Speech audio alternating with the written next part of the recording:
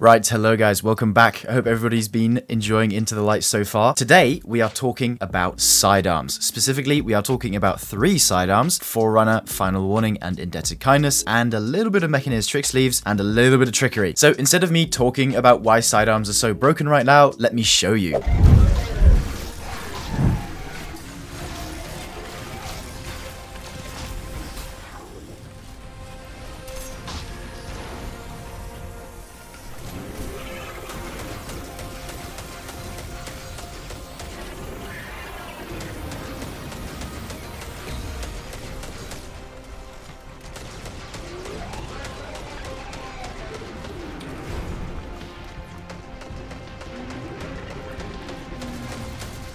Come on.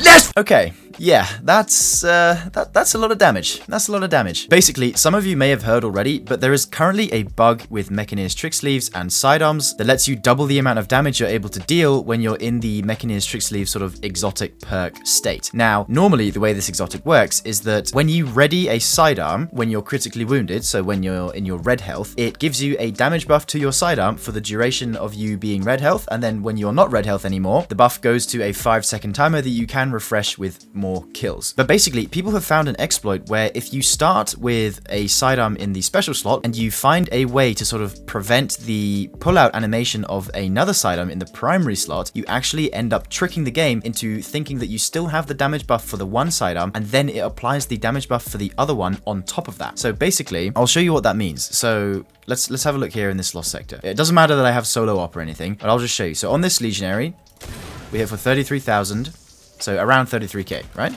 I'll just put that in the chat. Uh, and now I'll just wait until I'm 1 HP or down to red bar health and I'll show you what the damage we deal is any day now. Okay, so now that I'm 1 HP, I can pull out my sidearm and then I can hit this. There we go, 66,000. So that's double damage.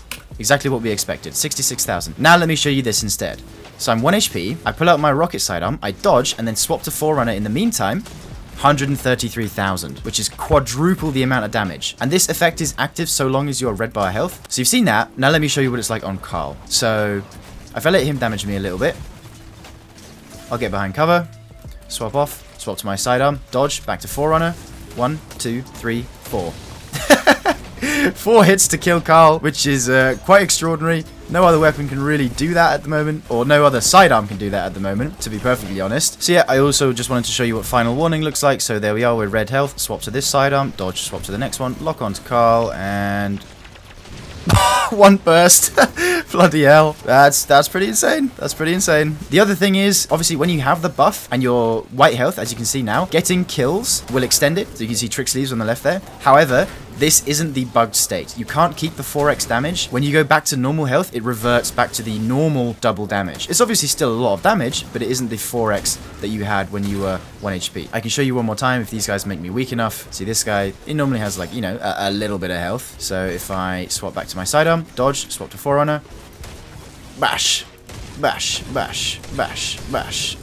133,000 every single time. Okay, so yeah, that's all well and good, but let's talk about the elephant in the room. How practical actually is this? Well, for starters, because you have to be 1 HP, it's already a little bit limiting because in that state, you're obviously very weak and you're going to die to a lot of things. And especially because the 4x goes away when you regen past that health amount, you aren't really able to keep it for long. The thing is though, if you're in like a giant room filled with ads and are able to keep killing those ads, then yes, it is somewhat viable if you can sort of maintain yourself at a low enough HP. And then you can keep slaying out with the double damage that it normally gives you, because honestly, Mechaneer's Trick Sleeves are kind of an underrated exotic in my opinion. Like, double damage on something like Forerunner is pretty huge, even, you know, without the bug. And then when it comes to boss damage though, not really. You see, the thing is, in like a team scenario, most teams have wells and sort of other healing sources which will prevent you from sort of maintaining that low HP state. You can inflict it on yourself, you know, you can shoot yourself with Indebted Kindness with three times, and there you are. You've got the damage boost, bang, bang, bang. But yeah, it's not very practical, especially in a raid setting. However, like you saw with my solo kill of Akelous at the beginning of the video, it is practical in a sense in those places if you kind of set it up correctly. Because if you remember from the clip, I had the Navigator equipped, which let me sustain fire for longer while also keeping myself in that red bar health region. However, it is a bit of a stretch, though it is something that is quite cool. And I thought I'd still cover it for those who really want to sort of give it a try themselves. Actually, if you guys can think of any other dungeon bosses where you think it might be practical, kind of like Akelous, just drop it down in the comments. So uh, there's not really much more I wanted to say about this really. I just kind of wanted to bring it to light because basically this bug was discovered on Bilibili and I haven't seen a lot of coverage on it on YouTube yet. So I thought I'd bring to light this cool piece of news for the YouTube audience. Anyway, guys, that's all for today. So thank you for watching and I hope you learned something and I will see you in the next one. If you made it this far, thank you so much. Your support means the world. And if you're really into the content I create, consider becoming a member of the channel, which not only lets you support me in the best way possible, it also nets you a whole host of awesome perks along with it. A massive shout out to these members up on screen, and I'll see you in the next one. Bye for now, dear viewer.